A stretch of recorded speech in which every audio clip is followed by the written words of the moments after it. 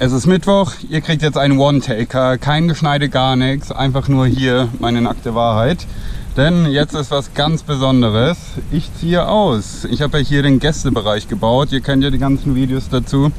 Und habe mich auf Workaway angemeldet. Das heißt, ich biete Volunteering an. Ich bin auf Airbnb und hier auf YouTube. Und ich kann es nicht glauben, meinen ersten Airbnb-Gast, meinen zahlenden Gast hatte ich vor über einer Woche. Der hat in so einer Hängematte übernachtet. Und jetzt in 40 Minuten kommen meine ersten Workaway-Gäste. Ich habe es jetzt wieder hier für die eingerichtet. Ich finde es so schön hier. Ich habe jetzt hier drei Wochen sowas drin gelebt und ich habe mich zu sehr dran gewöhnt, muss ich sagen. Das ist so schön, weil jetzt beginnt das ganze Spiel nochmal für mich vorne. Dieser ganze Hektar bis zu diesem, bis zu diesem und diesem Eukalyptuswald, der gehört nun meinen zwei Helfern. Das heißt, ich werde den volle Privatsphäre geben, beziehungsweise am Anfang muss ich mal gucken, wie das jetzt alles läuft. Weil was braucht man, um zu leben? Eine Schlafmöglichkeit, eine Kochstelle. Dann zeige ich euch jetzt mal die Toilette, Schrägstrich Dusche, die ich noch nicht fertig gebaut habe. Da wollte ich die Woche jetzt richtig viel machen und habe auch relativ viel gemacht. Aber vielleicht seht ihr, wie heiß es ist. Aber ja, sehr wechselhaftes Wetter. Jetzt die letzten zwei Tage waren sehr kühl. Davor hatten wir dann 35 Grad oder sowas. Und ja, vielleicht habt ihr schon mal Ideen, was ich hier hin machen könnte. Ich habe das jetzt schon mal ein bisschen frei gemacht. Ich dachte an einen Kompost, aber bei Kompost ist das Problem, dass dann ganz viele Fliegen da sind. Und ich weiß nicht, ob das zu nah an der Küche ist. Hier ist die Küche, ist knapp.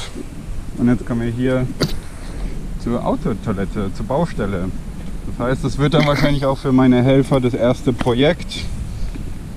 Ja, ich habe mich gerade eben ein bisschen gewaschen, dafür musste ich dann die Toilette heben. Ich denke, sie ist besser hier hin. Und das ist ein Camping-Dusche. Ja, dann für mich den Popo mit Wasser wischen natürlich. Und meine Gäste weiß ich nicht, aber da war ich mal so frei, Klopapier denn bereitzustellen. Und dann bin ich mal echt gespannt, was für Projekte die sich aussuchen. Ich zeige euch das alles mal anders da, weil jetzt geht es erstmal nur um meine Gäste zwar habe ich in Workaway angegeben und so war das auch bei mir, wo ich hier nach Portugal in die Communities ge gekommen bin.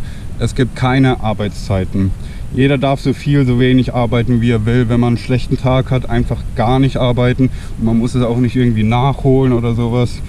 Und dafür gibt es aber eine zwei Wochen Testzeit. So habe ich das beschrieben, dass wenn das funktioniert, dann kann man hier bleiben. Wenn nicht, dann müssen die leider wieder gehen. Weil genau, Essen ist nicht umsonst, nicht für jeden, für mich schon. Ich war gestern Dumpster Diven wieder. Oh Gott, guck mal wie viel, wie viel Brokkoli. Und eine Kiste wurde schon von einem Freund abgeholt. Heute Morgen um 8 kam ein Freund. Und ja, ich bin so froh, diesen Bereich hier zu haben. Wir hatten vor drei Tagen hier eine kleine Party bei dem Spiel Portugal gegen Frankreich, beziehungsweise an dem Tag hat auch Deutschland gegen Spanien verloren sehr interessant, während meine Freunde hier saßen und wir hier so ein bisschen gefeiert haben, haben die mir erzählt, dass Deutschland spielt. Und ich war der einzigste Deutsche und habe es nicht gewusst. ja, aber wir waren dann, ich glaube, so 16, 16 Leute hier mit zwei Kindern, mit drei Hunden. Und ja, war viel, viel, viel, viel, viel, viel geiler, wie ich gedacht habe. Und jetzt bin ich mal gespannt, wie sich das hier alles entwickelt. Ich werde mir jetzt ein neues Shelter bauen bin die ganze Zeit echt extrem am überlegen. Weil ich habe ja hier mein Auto als Zuhause. Beziehungsweise ihr seht, jetzt kann ich hier Gäste abholen. Und ich habe eigentlich nicht vor, in meinem Auto zu schlafen. Ich will mir ein Shelter bauen. Das heißt, ich beginne jetzt dann bald mit dem Hausbau. Ihr kennt mein Land, drei Hektar, hier der Gästebereich, dann ist ein Hektar Wild und dann mein privater Bereich, wo ich auch mein Food Forest habe und so weiter. Und da müsste dann zum Beispiel das ganze Zeug hin. Das ist praktisch ja, mehr oder weniger all mein Besitz, das ich brauche. Mit dem habe ich drei Jahre lang in meinem Auto gelebt. Und jetzt, wo ich hier mein Land habe, habe ich natürlich mehr. Das ganze Dumpster Dive Ergebnis. Paletten müssen jetzt auseinandergenommen werden. Äh, dann die kaputten Teile. Ja, was soll ich damit machen? Ich habe ein bisschen Angst, dass sich mein ganzes Dumpster Diving Zeug so sehr ansammelt, dass ich bald hier so eine riesen Müllkippe habe. Und ja, jetzt ist Hochsommer, offenes Feuer ist verboten, das heißt jetzt einfach alles zu verbrennen darf ich nicht und will ich eigentlich auch nicht. Aber ja, so viel dazu. Und genau, was mein Plan jetzt hier unten weiter ist, wir sehen hier schon mal Haselnuss, hier ist Trauerweide, da vorne sind noch weitere Jungbäume und durch eure Spenden habe ich noch zwei Fruchtbäume, Obstbäume im Garten und die sollen alle hier gepflanzt werden. Das soll ein riesen Food Forest werden. Und ja, denke jetzt, wo die Gäste erstmal herkommen können, gucke ich erstmal, dass sie das so bequem haben wie möglich, damit es denen gut geht. Und dann denke ich auch, dass sie gut arbeiten können. Hier unten soll ein Kinderspielplatz hin. Und ich würde sagen, das war es dann mit meinem One-Taker. Mittwochs versuche ich euch jetzt immer so ein kurz No-Cut-Video, Uncut-Video äh, zu geben. Und Samstag bzw. Sonntags am Wochenende dann wie gewohnt lasse ich Bilder sprechen. ja.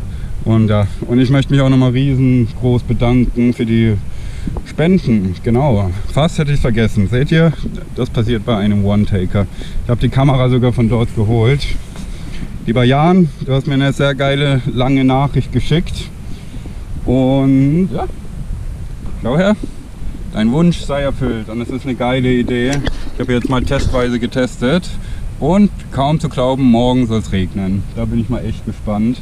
Die Idee hat mir der Felix auch schon mal per Privatnachricht geschickt. Und ich wollte eigentlich hier mit diesen Rindestücken das aus, ausprobieren. Aber ich muss sagen, so Sachen auszuprobieren, das dauert immer ewig. Die Aktion an für sich werde ich wahrscheinlich in 10, 15 Minuten schaffen. Aber das Rumgefummel davor, dann geht da wahrscheinlich irgendwas kaputt. Deswegen bin ich jetzt mega froh, Wasser auffangen zu können. Gerade hier jetzt im Sommer, meine Strömung wird wahrscheinlich morgen oder übermorgen austrocknen. Abonniert gerne den Kanal, dann halte ich euch da auf dem Laufenden.